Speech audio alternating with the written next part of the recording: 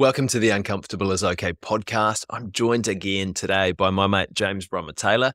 James joined us for episode 300 a couple of months back. It seems like a while ago now, JBT, but we were thinking of getting you back, having a little bit of a chat about today, about strategy, about personal growth, and uh, all of that good stuff coming into 2023.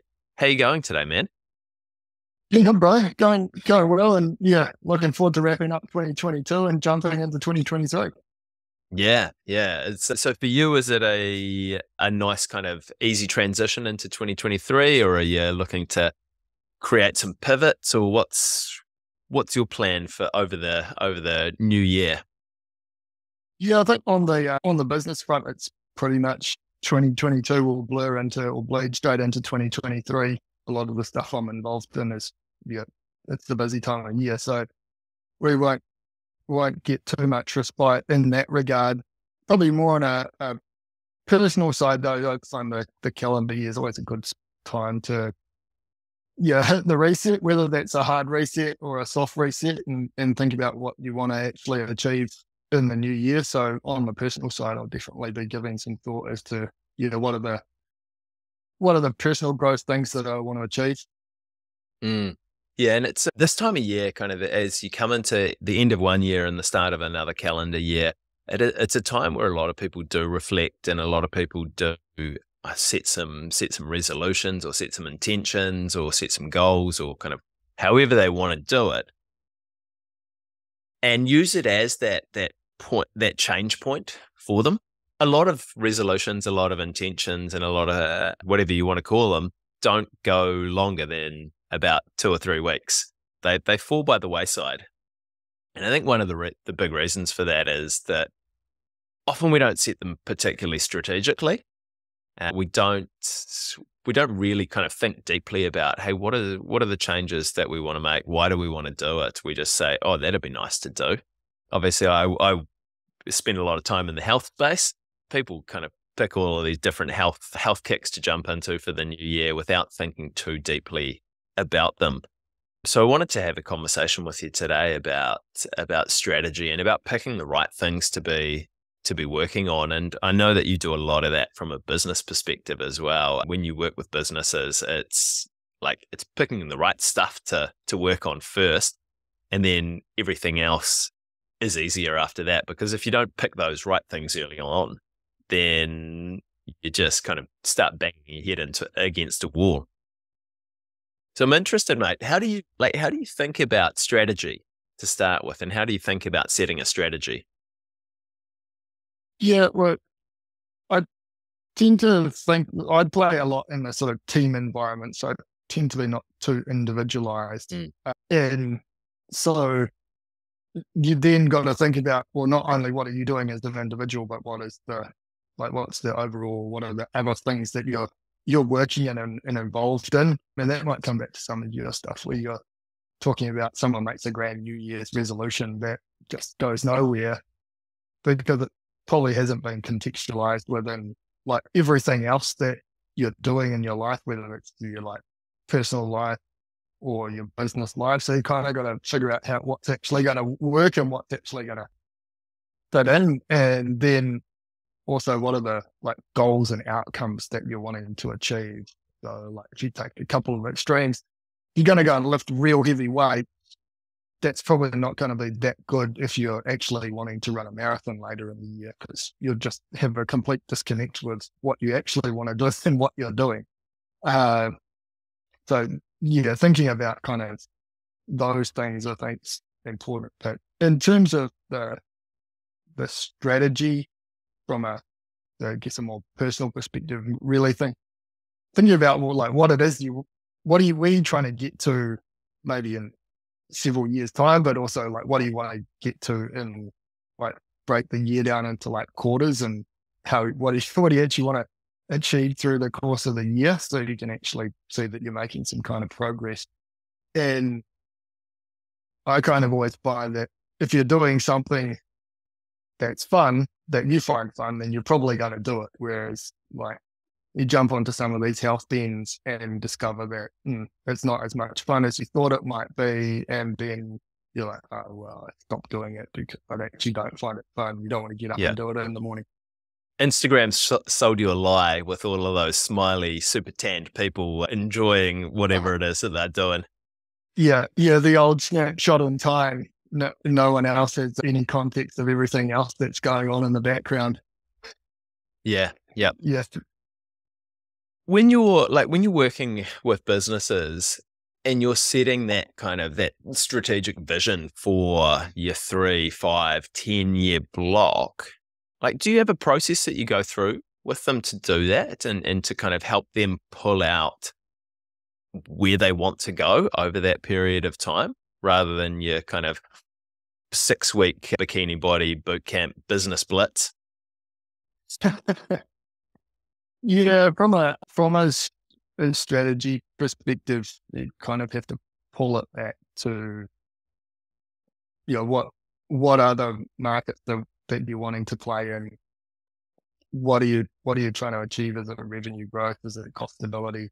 Like what are all of these things that the businesses try or wanting to achieve and then start to shape the, the strategy around that. Unless you're going for a real like much, much longer term strategy and then you need to take a, a longer term horizon and then build it all the way back to well, what do you need to be doing today? But in all cases, the stuff you're working on today needs to be hung off a strategy that's in sometime in the future, whether it's like a 10 year strategy or a five year strategy or a you know, one, two, three year strategy. You want to hang it off that strategy so that you know what things you're working on. Yeah, yeah. And I think that's really important when we're like when we're starting to think about kind of resolutions and setting a strategy for ourselves for for making changes, thinking, okay, cool, who do I want to be as a person, and like picking a picking a time period, whether it's ten years, where it's whether it's thirty years, whether it's whether it's eighteen months, and and looking at it like you said, kind of across the board, like wh- what are the important markers for me, um, to use like a, a health model, te whare tapa whā, like what are the important health model markers for me from a, a physical perspective, from a, a mental perspective, from a, a social perspective, a spiritual perspective, from a work perspective as well. And I think like you, you mentioned that you do a lot of work with teams. And I think we we shoot ourselves in the foot a little bit if we're just setting a personal strategy just for ourselves, because very few of us are hermits. Like we we interact with with people. A lot of people that listen to this podcast have they got families, they've got they've got co-workers as well. So whatever you do is going to affect those people around you. And also those those people around you are going to affect you and what you're able to do as well. So it's yeah. kind of it, it's starting to think about okay, what are the across all areas of my life, where are the the opportunities for growth and where the, where are the opportunities for change for me and then looking at okay say you're say you're a weightlifter and you want to you want to transition to being a marathon runner as looking okay cool i'm a i'm a jack dude at the moment I'm probably going to find it a little bit challenging to go out and and pound the pavement for a for a marathon or an ultra marathon or whatever it is that I want to do. Yeah. I'm going to set myself a, a goal and and say, hey, 12 months time, 18 months time, I'm going to go and and and run this marathon and, and build build up to it. But then I think it, it it's also important, like those those points you you picked out about, okay, what are the what are those markers that you're going for from a business perspective, but also thinking about like, why are you going for that? What is your, what is your motivation around that? Like, why have you picked that particular number? Like yep. you want 25% business growth over the next 18 months. Sweet. Why do you care about that? Like, what does 25% give you? Like, why didn't you pick 20%? Why didn't you pick 30%?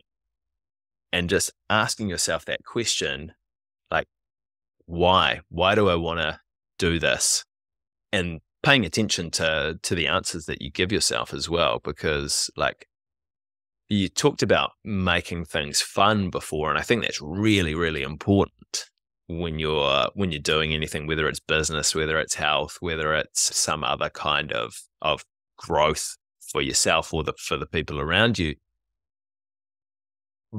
But also like making it meaningful as well, because not every day is fun. Like you do like the the work that you do. I'm sure a lot of it is fun, but a lot of it is grind as well. Yeah, yeah. And you'll talk to heaps of people that have managed to be successful somewhere around the chats, whether it's in business or in, in sport, anything that requires high performance. The the amount of grind they've actually done to get some outcome or achieve something. And uh, you, you were talking about Instagram before, where you see that the outcome, but there's lots of those examples of you like suddenly see an overnight success. You, every so often, you might see one of those kind of unicorn overnight success kind of things, but most of them are born out of a lot of hard work. And then you go, well, there's going to be a bunch of hard work. So what are the like the underlying motivators or the you know, the inherent motivators that are just going to get you to do it when when it's really tough what gets you to jump up again and and keep on going even though yeah it's a it's a real grind because it's it's only going through that grind that'll that'll get you there um I often think about the sort of 10,000 hour rule. It's not until you sort of clock the 10,000 hours that you've really got to a point where you're genuinely good. Yeah. Uh, yeah. Yeah. Yeah, and I was listening to a podcast with a lady called Alexi Pappas the other day, who's a she's an athlete and she's a founder of Tracksmith over in the US. And, and one of the things that she said is like, if you're working on something meaningful to you, you probably expect that a third of the time it's going to be awesome and you're going to be having a great time. A third of the time it's going to be okay, and a third of the time it's actually going to be a bit shit and you've just got to yeah. you've just got to get through it and that's that's why kind of picking something meaningful to keep you going through that third of the time where it's a little bit shit is is really important. And you mentioned kind of inherent motivations before. I'm just wondering how like how you think about that and how you think about kind of matching that those up to to your vision and to your direction you know, some of that comes back to that kind of fun factor. So, like, if you if you find it fun and that's what you like doing, then that's probably going to motivate you. Whereas if you just don't find it fun, then the likelihood of you actually doing it is pretty pretty low, uh, and it's different for different people. And then, yeah, and then connecting it to those overall goals. Yeah, the the weightlifter marathon run is a great kind of diametrically opposed kind of thing, and likely to be able to do both just because there are physical characteristics to perform well at either of those uh, sporting those sporting outcomes or sporting events are just completely different. Like the, your physique has to be so different that you have to pick one. You know, if you're going to train for running, you're going to have to do a lot of miles. Whereas if you want to lift heavy weights, you're going to have to push through some some pretty hectic workout sessions, probably doing a lot of them by yourself in less than ideal conditions and trying to get it to work. And you obviously need to eat a lot if you're doing if you're doing something like that. So there's, there's a whole heap of things that that go into it. So are you actually going to enjoy doing a large number of those things. Not not hundred percent of them because there'll be some things that are just hard to do or you don't really like. Are, are you actually going to do them when when the going gets tough? Will you actually get up and do it, or will, at that point will you flag and go, "No, this is not me"? Yeah, and then I think thinking around like if you're in a family situation, yeah, can you actually do it within the family context? So are you actually going to be able to get up and if you're doing marathon training, you're going to be pounding the pavement for two to four hours some days. So can you fit that into the rest of your life or is it just not going to fit in because there's so many other competing priorities. Mm. Yeah. Do you so, need to yeah. have a, a conversation with your spouse to say, hey, is it okay if I carve out a little bit of time to go and do this on the weekend while you look after the kids? Yeah. Yeah, yeah, and and vice and vice versa. They they may also be wanting to do something as well. So how's it how's it how's it all going to work? How's it all going to come together? Yeah, thinking about the the practicalities of it mm. all as as well, and you know, similar similar you you know people getting on to to certain different types of diets. Well, how's that going to work in the in the greater context of things? Um, yeah, you might be in a family of four. Is everybody going to eat all of the same, or you know, how's it how's that actually going to work, or is that going to be the undoing? Because mm. you might be picking a certain diet, but you know, you're one in four.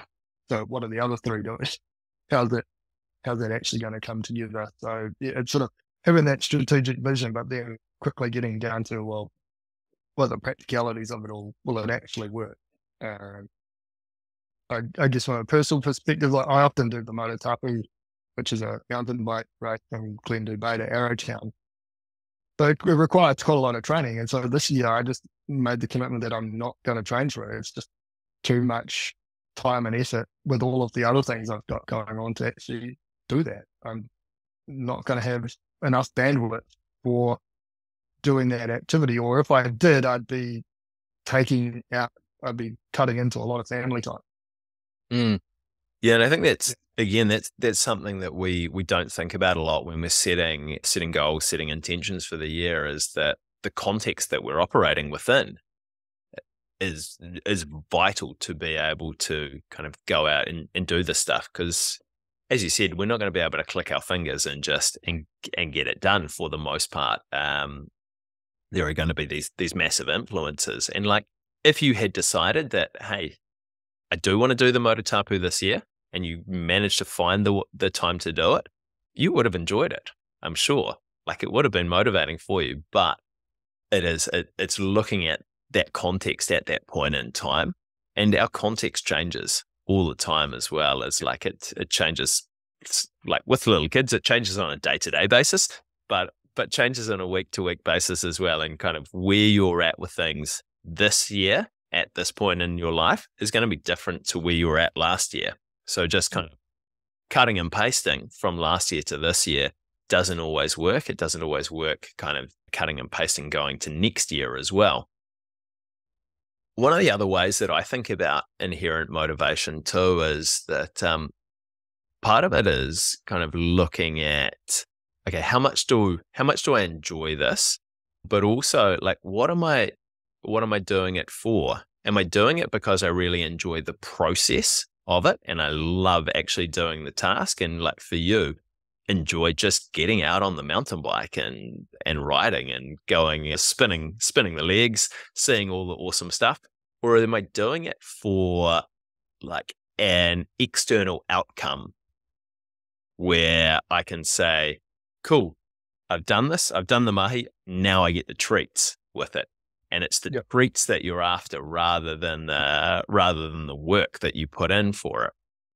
And like the that external outcome, like it's not it's not a bad thing to get an external outcome. Like going to university to to get a degree so that then you can kind of go and do a do a job that you want to do that that needs a degree like going and, and doing an mba for you I know that you really enjoyed the process of it you got this external outcome of an mba which then opened up opened up doors for you so external outcomes aren't always they're, they're not always a negative thing and they're not always don't always encourage less motivation in you, but just I think asking yourself that question is it like, is it just purely that external outcome that I want? And that's why I'm pursuing this?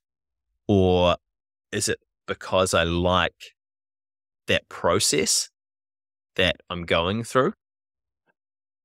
Or is it because of the mm-hmm. feeling that I think I'm going to get when I hit that external outcome like obviously I work with people who want to improve their health. Some of those people have specific target weights that they want to get to. And you, you asked them, okay, cool. Why do you want to hit that number? And a lot of people will come back and they'll say, oh, because, uh, well, most of them will say, I don't know. But some of them yeah, will. But, why is that? Why, uh, I guess the question is, what, why is that measure of success important? Yeah. Or, or mm. what is the measure of success? I guess is the other question. And, and then, yeah. And then if you're talking about, say, I got target weight, why is it X kgs and not Y kgs? Mm. Uh, yeah. But then if we're running our, like a, our diametrically opposed weightlifter versus marathon runner, well, the, the measure of weight, yeah, it's going to be quite different mm. depending on those two, two things. So like if I go in my context, well, I don't know what I'd have to get down to be a useful marathon runner, it'd be a lot less than what I am now versus, yeah, I would, if I wanted to actually be good at weightlifting, I'd need to put on weight. Mm. Uh, yeah. Yeah, definitely. And like, I think there's like, often we're searching for a feeling that we want to, that we think this external outcome will give us. Um, I was working with a guy a little while back and I actually, I really enjoyed his outcome. I was like, sorry, his answer. I was like, mate, why do you want to hit that weight? He's like, I really love the way that my body feels when I'm at that weight. He's like, I've just got more energy. I feel stronger. I feel flexible. I feel all of this other stuff. And I was like, oh, cool. You've, you've really thought about this and you've got an external outcome that you're shooting for, but you know exactly why you're going to get to do that. And you're going to be working on improving those other things as you do it as well. So it's yeah, I think it's it's it's thinking about like, do I want to just put this up on Instagram once I've once I've clocked it off? A, a guy that I've interviewed a couple of times on the podcast, he's a he's an adventure racer and he's turned down doing I think three Everest expeditions. Like he could he's the sort of dude that could just go out and do it. But he's like, why am I doing this? Am I doing this for taking the photo at the top or am I doing it for me? And like with Everest, he's uh, uh, that that answer to his question's always been, I'm doing it for the photo at the top. I'm not doing it for for myself. So kind of asking yourself, I think a like a version of that question is like, am I doing it for the outcome or am I doing it for for the process? Yeah. Yeah. And look, a question that often comes up in the business context is always you're always asking, well, what's in it for me or what's in it for them? To the very similar question of just why why are they doing it? And uh, I, do, I watch quite a lot of Charlie Munger podcasts or or people reviewing his thinking. And one of his things is you don't need to be involved in every deal. Some people think for some unknown reason they need to be involved in everything. Usually that you'll be pretty average or if not shit at everything you try and get involved in. Whereas if you focus up on a, a few things that either you know well or you can be good at, then you'll get some pretty good outcomes, whatever they are, which I think is the getting that strategy. Okay. Like in a business context, I tend to stick with stuff that I know well, like ag and energy. Uh, I've, I've, I've already done my 10,000 hours, so I've got a very good base to come from. So they're not having to go up big learning curves whenever I'm looking at stuff like that. Whereas if I go and look at something else that I'm very unfamiliar with, there's a much bigger learning curve. And then if you bring that back into like personal health, well, yeah, what what are those things that you like? Are, are you good at? Um, and that are that are good things for you as a person to be working on, and that'll be different for for different people, right? mm Yeah. So, yeah, and then your your mate who's yeah looked at Everest multiple times. I mean, that, that's the perfect example of not needing to be involved in every deal. You don't need to go on every single expedition. It's a bit like me with the Motatapu. I don't have to race the Motatapu every year. Some years it's just not going to make sense uh, even though it's literally the finish line is in my backyard. So you'd be like, why wouldn't you? Then, yeah, I mean, arguably, I could line up in a few weeks' time, and I would, I would make it from start to finish, but it would be nowhere near in a, in a time that I'd be happy with shooting for. It wouldn't feel particularly nice either if you hadn't put in the training beforehand. It'd definitely be a grind. It'd definitely be a grind. That's sure. And having done it multiple times, if you've done the training, it's much less of a grind than it is if you haven't if you haven't done the training. Yeah. Um, you can take in that that lovely scenery a little bit more rather than just kind of have your head down pedaling hard. yeah, the, uh, the irony is I think of actually fully absorbed all of the scenery every time I go through that particular gorge. Like, oh, you spot something different, and obviously the scenery changes all the time. But you, yeah, your head comes up at a different time. And oh, well, that's there. Mm. Yeah, when you like when we're thinking about change and when we're thinking about okay cool we've set the we've set a strategy we've set a direction that we want to go to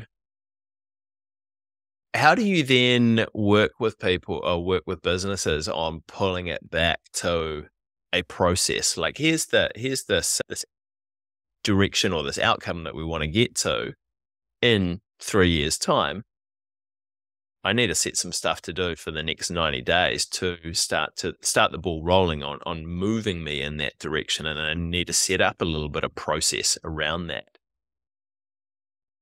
How do you how do you kind of take that vision and put it in actionable steps for people over the next week? Yeah, I kind of have a couple of things. One is being really clear on the priorities. So what are the things you're actually wanting to do? Because that'll the main thing it will do is stop you doing all of the other stuff that's not on priority. Mm-hmm. And there's always heaps of other stuff you can get involved in. I thought you were having a conversation with one of my business partners yesterday about this. Like we've got so many angles we could play on this particular business that actually we just need to focus up and, and pick one and we're going to be good at that one. And then the the other bit is coming down to, well, what are the things that you can actually measure, whether that dates or timelines or weight or speeds or whatever it is. But at the end of the day, what you measure, you actually manage, but you can also see progress. So you can actually see that you're getting better. So like if you go and look at, say, people out there that are trying to be the heaviest deadlifter in the world, well, the what the 500, 501 kilos is like the maximum that any human has actually pulled off the floor. Any of those guys that actually did it, they they don't start off just trying to lift 500 kilos all the time. Like they're they're building up, and every every week they've got milestones that they're wanting to hit in terms of their performance. I use that one because it's like a it's a big target, but it's also like you have to break it down into achievable steps in terms of building your way to, to that ultimate goal. So those are probably the having clear priorities and knowing what you're going to measure along the way so that A, you can make sure you're measuring something and we'll come back to that, but also you can celebrate when you hit these different uh, milestones or or metrics in certain time frames. The other important thing about measuring is that you can actually be accountable for what you're doing. And it's only kind of when you like take on that accountability that you'll embrace the change, but you'll also adapt what you're doing to get to the outcome. Because if you kind of like don't take accountability and you just abdicate it and blame it on other people or whatever it is, then there's pretty low chance of you actually getting to those goals, whether they're weekly goals, monthly goals, quarterly goals, annual goals. Yeah, I've found that over and over again that yeah, all of the best people, one way or another, they have they have that in place. And you're like musicians, they're like, oh, they're even going through a creative process, so it's quite free form. And but they're like, no, by this point in time, we're going to have this amount of content out, and it'll be in a certain, like, it'll be at a certain standard that we're happy with. And if it's not, they put in more hours to get it there. Mm. So, yeah, it, in almost all settings, there's that that's the case. Like you go to you go to an awesome rock concert and you're like, wow, that was a that was an amazing experience. the amount of work that went into that amazing rock concert is phenomenal. Mm. It wasn't like they just turned it up and played on the night and you're like, oh, cool. they, they put like months and months and months and weeks and weeks and weeks of work into how to get it all to all to come together and and and and bring it to that final outcome. Mm. Yeah, yeah, Yeah. I think that like that really it's really important point is that just the amount of preparation time with it and those picking something to measure and measuring that along the way as well. And one of the things that I see with with people from a health perspective, and you probably see it from a business perspective as well, is that often people will pick they'll they'll choose a measurement and they'll choose a they'll they'll choose the right thing that they want to measure, but they'll go too hard too early and they'll think, oh, I need to hit this by then. Say, like, you want to work on your deadlift and you're deadlifting, what, 50 kgs to start with. And you're like, boom, three days' time, I'm going to be deadlifting 100. And there's certain things that you can do to to improve your technique and improve your ability, but that's a that's a massive jump. Um, and then people get frustrated and they get disheartened because they haven't they haven't hit that first that first point. Yep. Whereas, mm, and often it's and often it's realis- unrealistic to to hit that point in such a quick amount of time. And I think adopting a adopting a student or a beginner mindset around that can be quite helpful when we're thinking about okay this is something new that I'm testing out this is something new that I'm working on. It's going to be hard it's going to be challenging. What do I do when I don't hit those those important milestones that I've set for myself? Like how do you how do you work with people when they're not when they're not ticking those off the way that they would like to? Yeah, I might go back like a a couple of paces on that one because I think you Mm. kind of touched on a, a pretty im- important point that the moment in time that it, it really what was me was when I was I was doing a bunch of stuff out in like the middle of Queensland on on gas fields. There was this big team building event and I just ended up going along to it because well, I didn't have any other work to do. So I just went and joined into the team building event and and we got all broken up into teams. People you had no idea really who they were. You just had to to work together in these little teams and the the the, the competitive nature in me. I just went. I just wanted to win the the team building event, which is like a few hundred people, but yeah, still in the team that I was in. I mean, I was like, I want to win. So how am I going to get these other folks that A, I've only just met, but B, I have no idea of their capability of how to get them to win. Um, and to me, it was like fairly obvious what the knack was to to win the team building event. It was you always had to get just a little bit better each time.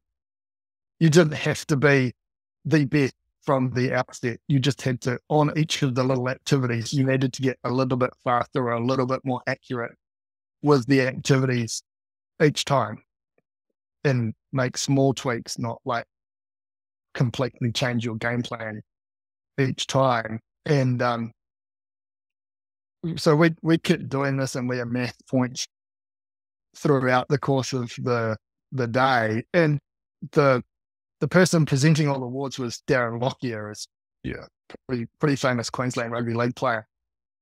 And and his his thing was like so this whole day was about figuring out how to make those one and two percent improvements. And he's like and the team that won, and we were by quite a long margin at that point, was the the team that always did the little improvements. When we took a game plan and we just tweaked it for each little event that we had.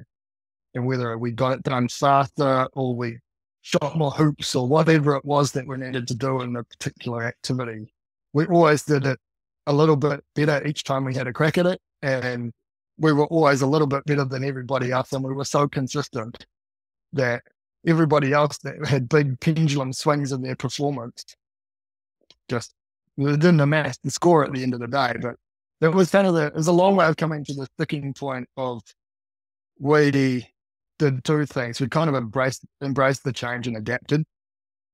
Uh, but we also recognize the, the small incremental improvements are more valuable than some massive leap forward because we could just build them up over time and we built them up pretty quickly and suddenly uh, we made the improvements, which is then you relate it back to like your personal health or something like that. Yeah. Just the keeping the little improvements coming through and adapting and changing is more likely to get you there than trying to make a massive change. Because the massive change will be really hard, whereas the little improvements are actually quite easy to make. Mm, yeah. And so from a like a practical perspective, is it maybe setting a setting a smaller milestone initially would be yeah, helpful or, for you? Yeah, or, yeah, breaking breaking down that that big goal into smaller parts. Like I've got a, a good buddy at the moment, Dr. Dark, who's training for a marathon, and look, he's you talk to him and like he's a successful dude and his thing is just to break it down into small bits and like at the moment he's like i'm not i'm not trying to run a marathon i'm, I'm more just trying to get at, at get the building blocks of of baseline fitness and ability to run. He go, I think he goes. He started off at 5k and now he's moved up to 10k. He wants to run. That's he's just getting good at running his marathon pace at those shorter distances. Mm. And then then he'll build it up and build it up and build it up. But he's broken the 42 kilometers down into much much shorter, more achievable blocks will get them there in time. Yeah, and like with with all of the stuff, it's that it's that consistency that we're that we're aiming for, and it's that consistency where where improvement and change really really happens and takes off. And it's like as you as you said that it's very rare that we are able to create a massive change and just have a have a huge leap forward. Every now and then, like if there's something from a technique perspective that you change, sometimes that'll give you it'll give you an extra 10 or 15% because you're just doing something so much more efficiently and effectively. But most of the time it's it's those little 1 and 2% gains that slowly add up over time. Yeah. Although I would I would say even with like some of those like a technique change or something like that, you you need to relearn it. So mm. yeah, it might have the the technique change could give you say like a 10% improvement. But when you start doing it, most probably it's not giving you all of the 10% because you're actually having to to learn or learn or retrain the technique that'll ultimately give you the 10% improvement right, right when we start it. Probably, probably won't. Hmm. Yeah. And that's not a defeatist mindset. That's a, more of a pragmatic mindset of like, if you actually thought, oh, I'm going to change my technique and I'm going to be 10% better tomorrow. Prob- probably not. Yeah, yeah. Pretty, it's pretty unlikely. Yeah, I was talking to uh, to Portia Bing a couple of months back, who's the New Zealand hurdler, and she a couple of years back decided that she needed to change her technique because she was kind of capping out, and it was really challenging because it was just the it was the Olympic year, that she decided that she wanted to change her technique. So she didn't make the Olympic team that year because she made these changes and actually she got a little bit slower initially because she was she was relearning and she was eh, she was changing and she'd taken that step back so that now she can come back and she can be faster but yeah just as as you say that sometimes that that yeah. technique change is, is accepting hey i'm still a beginner here it's okay to go backwards for a little bit because I know that I'm gonna I'm gonna move forward a little bit later. yeah, probably the other thing I'd say about your like beginner beginner mindset or, or whatever you want to call it. I always I always think about it. It's like what are you doing every day to get a little bit smarter? And I spend a, a decent chunk of my day, whether that reading. Oh, I guess historically, people used to call it being well read, but that was before we had the interweb. And now, you know, you can get smarter through lots of different things, like listening to podcasts, watching stuff on YouTube, whatever it is. Well, I spend a decent chunk of my day doing that every day uh, because that's how you'll pick up something or learn something or gain an insight that'll enable you to do something something better, right? Mm. Yeah. Yeah, just exposing yourself to to new ideas and new new perspectives. Mate, what are you where are your growth areas for 2023? What do you want to be working on? Yeah, look, in terms of uh, I guess personal stuff, I was actually talking to uh, another one of my buddies, Ryan Mitchell, um, the other week, and I was like, actually, the whole of last year, or this 2022 year, I've not really done much by way of like lifting weights and stuff like that. It's actually something I quite enjoyed. Yeah, back to your feeling thing. I actually like when you're doing that sort of stuff, I feel stronger. But it also, I also find it's like a quite a good block of time where you just go and think about stuff, whatever that is that you need to think about. Mm. And so I think that's one area I want to jump back into for next year doing more of that stuff. I don't know if I'll do my, my annual mountain bike race or not yet. Like, bit of a TBC. I guess I don't have to decide that in January. That might be a part way through the year after the winter's been or something. Decide whether I actually want to want to jump into to that one or not. And then, yeah, from a from a business perspective, I've got a couple of businesses that need to kick a few goals next year. So one, we we need to get on a bunch more farms. There'll be a lot of focus helping the team achieve that growth. Um, and and then I'm building a factory next year as well. So, yeah, that's going to be a, a big focus is getting that factory built and up and running and commissioned. So, yeah, if we achieve those few things, then then we'll be having a good year next year. Nice, man. Yeah. That's cool. Yeah. Oh, and I think I, I, I should I shouldn't overlook another one. I'm renovating it next year as well. So yeah, there's a there's a there's a few goals to kick. Yeah. Um, and and they've all they're all measurable. They've all got timelines. They've all got budget. Yeah, I probably should go and fetch some some goals for the getting back into the gym. What's that going to look like? Although I've still got another goal to kick off I guess before the end of the summer, which is to get my golf handicap down into single figures. So got to do a little bit more work on that one. Yeah, you I'm, I'm stuck on 10. I'm stuck put on the, 10. Yeah, to put the time into that rather than into the gym for the next couple of months, mate. Uh, yeah, yeah, nice. yeah. Practice my short game and all of that sort of stuff, which was yeah, it was kind of uncanny when you were talking about making a technique improvement that gives you a an improvement. I kind of like got quick, quite quickly down to ten, but then I've been stuck on ten for quite some time. So yeah, it's yeah. those it, it, those plateau those plateaus can be frustrating as well, mate. So I guess like to to sum up what we've been talking about and to to think about it, so it's setting some goals or some some visions or some directions for for a, a, time frame, whether that's the next year, whether that's a 5, 10, 30 year 30 year plan, um, of something that's important to you, something that you feel inherently that you want to do it, rather than just it's it's something shiny that you'll get at the end. And then breaking it down into into like the small component pieces and setting some some markers along the way of important things to measure to one keep you motivated, and keep you trucking, but also to measure your progress as well and make sure that you're that you are continuing on the right track and that you get to have those small celebrations as you go as well when you when you kick off a milestone.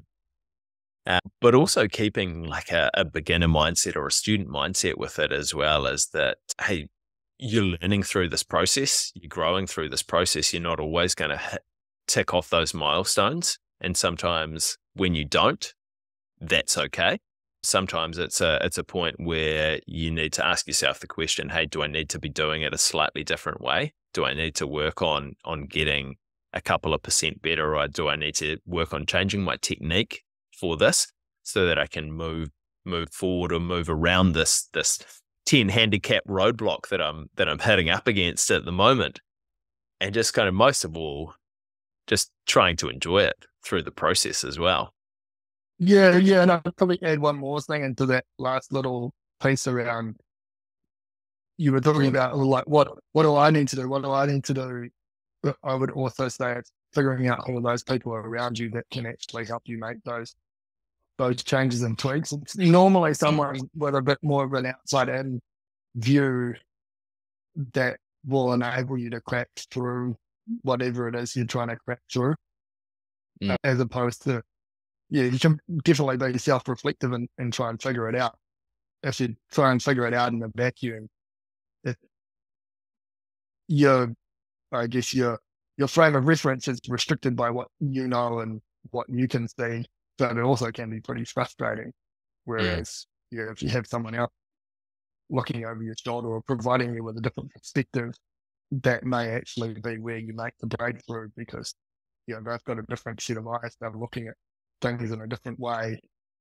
Yeah. Or they may just be looking at you doing the activity so they can go, ah, you're you're doing this thing all the time. If you stop doing that thing, it, it'll probably enable you to make the improvement. Yeah. Yeah, yeah no, I heard a great metaphor. It's like looking at at a billboard like five centimeters away, and you can see it. You can see a little bit of it, but often you are way too close to to it to really make important changes. Whereas if you get someone who is standing back a little bit further, looking over your shoulder, as you say, and say, "Hey, actually, you want to move here, or you want to do this, or you want to want to do something differently," and and having that support is like it, it's it's vital and it's great, and it's it's often where you do have the opportunity to make those biggest changes. Yeah, yeah, indeed. Yeah, yeah. Having a having a few people who are either just peers or mentors or whatever you want to call them, they're the ones that normally give you the um, the best tips tips to accelerate yourself forward. Yeah, hundred percent. And also, uh, one other thing that we talked about was making sure that you don't forget your life context as well, as that whatever you're doing needs to be able to fit into your world without pushing out too many of your other important priorities as well, like your family. Yeah, yeah, yeah, yeah, or, or whatever else you're you're trying to do. If you're yeah, if you're trying to be a surgeon, then you, there's a whole bunch of commitments that you've already made. So you, your personal health things need to also blend in with the fact that you've already made one fairly big commitment, which is to be a really good surgeon. So, yeah, I suspect if you're trying to do midday workouts as a surgeon, that might be quite hard to fit in. Not that I know mm. exactly what their calendar looks like, but yeah, yeah, it's just, I'm more using that as an example of putting it into the context of what you are actually able to achieve. Yeah. Yeah, we have to ask. We have to ask Womble on that one whether he gets his midday workouts in or not.